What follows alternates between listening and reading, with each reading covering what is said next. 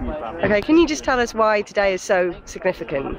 Oh, today is, is uh, an historic event, uh, landing Curiosity uh, on the planet Mars on, uh, inside Gale Crater.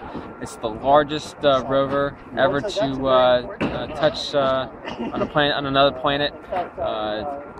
the the engineering that went into this particular mission was was phenomenal. the seven minutes of terror. It, it wasn't seven minutes of terror. It, it, it was it was like clockwork and all the engineers and scientists who've worked on, on that mission, the MSL, the Mars Science Laboratory mission, did a phenomenal job, and now we can't wait for the science to begin. And how does it feel to be broadcasting from Salford? Oh, this has been a, a, a phenomenal place. We are very fortunate to be here to, to broadcast live. Uh, can't appreciate enough the thanks and give thanks to the uh, to the mayor of, of the city, to, to, Assistant Mayor Stephen Cohen, uh, to all the folks here from the BBC, the Media City, all the folks who helped us out uh, technically. To make this happen. Uh, it, you guys opened your, your, your, doors for us, and we thank you uh, so much.